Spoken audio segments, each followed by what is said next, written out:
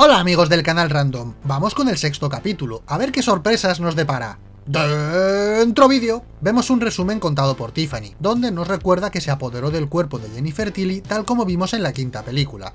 Estamos en Charleston, Carolina del Sur, donde dos viejos conocidos se hacen pasar como agentes censales.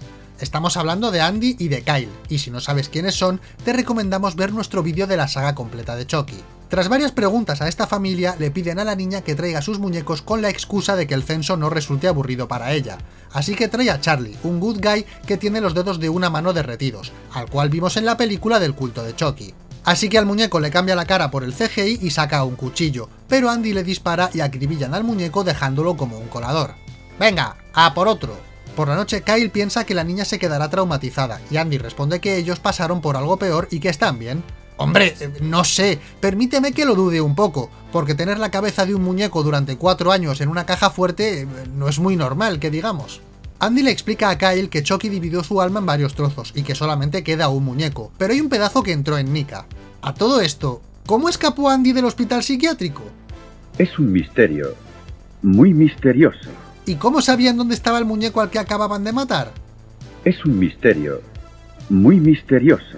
Volvemos al instituto, donde la detective Evans detiene a la profesora por los asesinatos de la directora, de Oliver y del detective. Los chavales dicen que ella no lo hizo, pero claro, a ver quién le dice a la detective que el asesino es un muñeco. La muchachada sospecha que Chucky está dentro del muñeco Tommy, pero este ha desaparecido, así que Devon propone hablar con Andy Barkley, ya que leyó la historia del asesinato de una niñera donde el niño afirmaba que lo hizo Chucky. En el hotel, la inteligente Tiffany quiere deshacerse de un cadáver metiéndolo en una maleta, pero necesita cortarlo en trozos más pequeños, y al hacerlo la sangre salpica la cara de Nika, que recupera la conciencia. Estamos ahora en 1987, donde Chucky y Tiffany quieren comprarse un coche, pero claro, matan al vendedor y les sale gratis. Por cierto, imagino que ya lo sabréis todos, pero quien hace de Charles Lee Ray es Fiona Dourif, que es la actriz que también interpreta a Nika, y que además es la hija del actor Brad Dourif, que interpretó a Charles en la primera película, y que además siempre ha sido la voz del muñeco en toda la saga original e incluso en la serie. ¡Datos viejunos! En fin, que se van mientras vemos a Charles leer un libro de vudú, porque claro, recordad que el muñeco transfiere su alma por un rito vudú. De vuelta al presente, Brie le cuenta a Logan que tiene cáncer, así que se lo van a decir a Junior, pero el padre no es capaz. Mucho deporte, muchas peleas, pero luego eres un cobarde, ¿eh? En fin, que Brie se lo cuenta a su hijo, y oportunamente Jake lo escucha todo.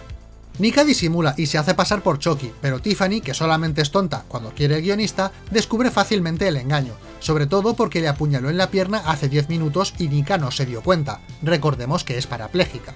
En fin, que Tiffany le dice que la prefiere a ella, que han comprado una casa en Hackensack y luego se pone a dormir. Los chavales intentan localizar a Andy por las redes sociales, pero lo que encuentran es un artículo en el que cuentan que se escapó de un hospital psiquiátrico hace dos semanas, aunque seguimos sin saber cómo lo hizo. Harrogate está en Rhode Island y Jake recuerda que recibió una llamada desde allí. Junior le cuenta a Lexi que la siente distante, además le dice lo de la madre, aunque como la rubia está pendiente de otras cosas, decide cortar con ella. Jake consigue hablar con Andy, que se encuentra en Virginia. El chaval le dice que no saben cómo encontrar a Chucky, y Andy le responde que el muñeco irá por él a un lugar donde esté familiarizado, probablemente la casa de sus tíos. Tiffany ha comprado la casa donde vivía Charles, que está abandonada desde los asesinatos. Además, recibe un paquete que tiene pinta de muñeco Good Guy. Luego saca a Nika del maletero y la deja atada a una silla mientras ella se va por ahí. Evans habla con Rachel, la profesora, y le muestra las pruebas. Además, parece que tiene antecedentes, con lo que la cosa pinta mal. Brie tiene una cinta con la terapeuta y Junior la esperará en el coche. Sí, habéis visto bien. En un plano sujeta el bolso con la mano izquierda y en el siguiente con la derecha. ¡Realismo!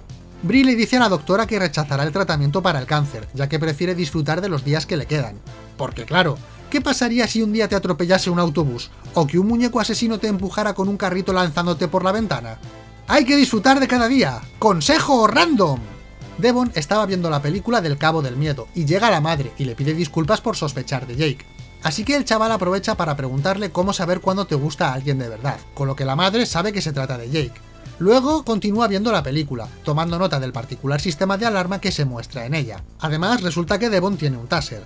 Ya en la casa de los tíos de Jake ponen sedal en las puertas y ventanas tal como Devon vio en la película. La detective llama a su hijo, pero este no le hace ni caso y le confiesa a Jake que le contó a su madre que le gusta. Así que se ponen a hablar de actrices y películas de terror, pero la muñeca se mueve. Entonces descubren que Chucky se ha colado por la chimenea, y mientras le buscan, el muñeco corta la luz y acorrala a Alexi, a la que intenta convencer para matar a Jake, el cual está tras Chucky. El muñeco le descubre y le da un corte en la pierna, pero se encuentra con Devon que le da una descarga.